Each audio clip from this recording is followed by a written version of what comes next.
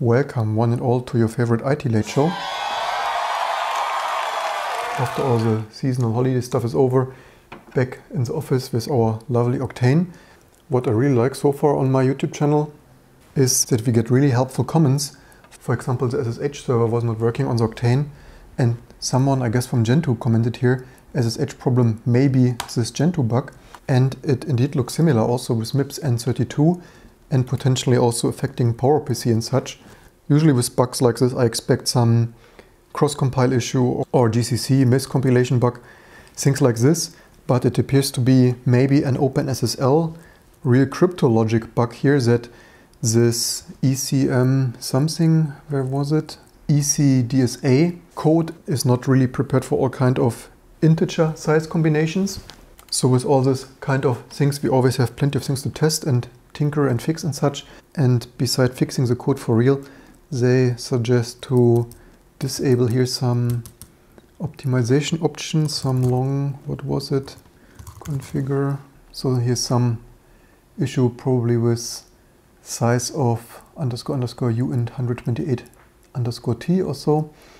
And apparently this also causes problems on maybe PowerPC and S390X and such. So configure option, there is something here with long whatsoever, wherever that was. Disable maybe 64-bit code. Commit message here, disable 128-bit math logic for now. Let's see what, this is also, oh, it's not a patch. Disable FIPS. What is this here? Disable it for now. Here's our here see if your toolchain supports. If so, at 64-bit friendly for this probably NIST P64 GCC. So enable here is something EC NIST 64, I guess. So I will shortly figure out how to most minimally do this here and then cross-compile and test it. So unfortunately, it looks maybe it's not the same bug because this looks disabled here. Configure for Linux generic 32 with no EC NIST P64 GCC 128. So unfortunately, maybe not then. Probably let's boot the Octane up and shortly take a look what exactly the SSH server is doing there. Maybe we can get a quick clue looking on some SSHD verbose connection thing for some debug notes. But this just reminds me why we do these videos here, because often people think everything just works by itself and if you want to fix something it only takes five minutes. You see even when you think someone tells you it's maybe the same bug, then it isn't.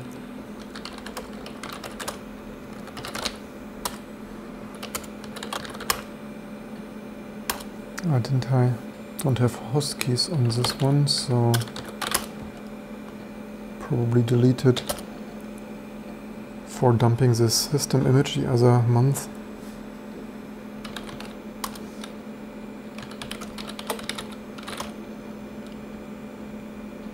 Connection closed here, that's probably that. Which IP did we had? 134. So, this V and so what is this negotiating here? How verbose can we go? Uh, as I thought, this may not necessarily be so super easy to debug.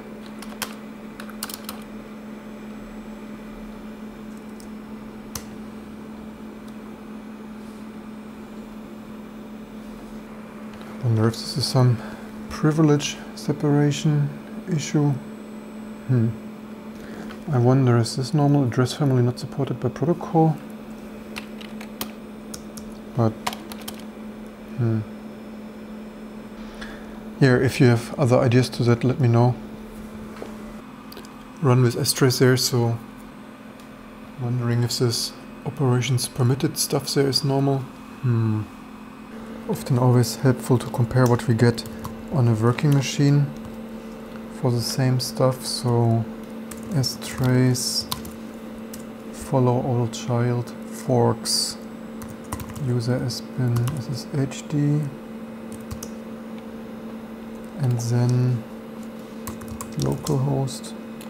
Okay, host change, but known hosts.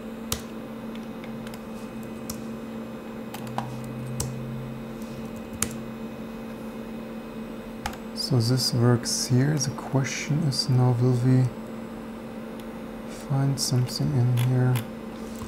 Maybe output to a log file.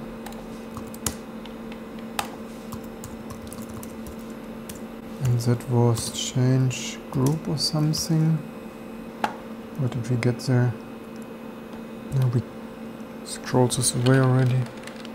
And the seccomp was sec com filter. Here's some filter something.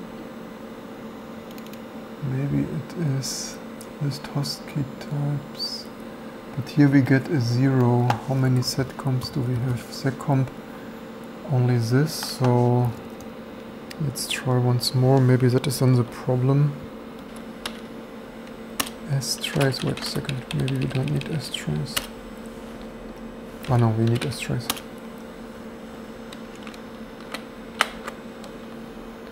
So we have, we need to connect. So connect. And here we get all this stuff scrolling by on this not so fastest frame buffer and seccomp killed here, right? Okay, this works. The second one here is... Hmm, but maybe anyway, this is a problem. This is, by the way, exactly before this we get probably from the child, I guess. Set GID and stuff. Operation not permitted. Let's see seccomp and here we get actually we also get here some operation not permitted interesting. The more you know of the stuff doing stuff. So I wonder if for a test we can disable this seccomp security stuff. That would be build open ssh yeah, and again, if you're not the developer of this and have written all the code yourself, it's always getting used to this, taking a look what exactly happens, analyzing and stuff. So let's see if this has something to seccomp disable this for test seccomp. Yeah, because here's some sandbox seccomp stuff and configure so not supported. Do we get here somewhere configure help sandbox style? No. Let's try this for a test. Just that we know what is the issue. Of course you would not run this on a production server like this, so conf opts just add this here for a test.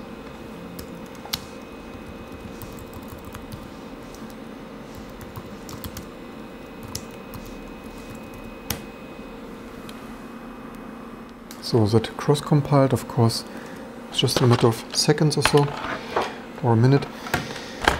Then port forward this, and then secure copy, open SSH, then mine install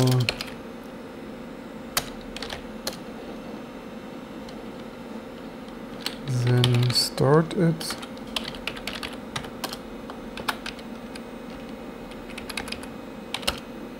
and let's see if something happens now.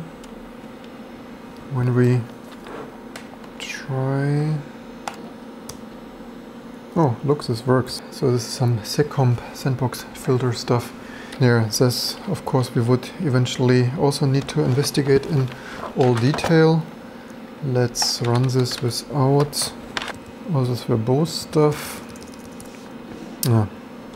This debug stuff only runs this here once so Let's see if we can fully log in. Oh, we have probably not a Rene account maybe on there. Then we need to allow here root login in SSHD root permit root login yes for a test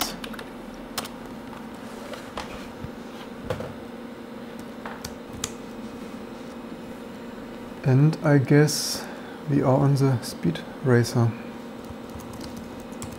So seccomp that is then and that would be SSH ah, did I delete this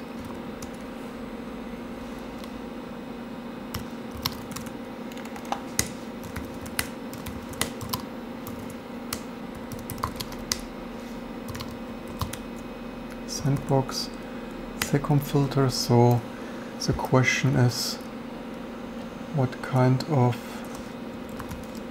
uh, maybe the system calls here that maybe different for N32 or something.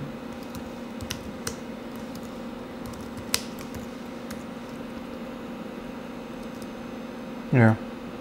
So this saga continues.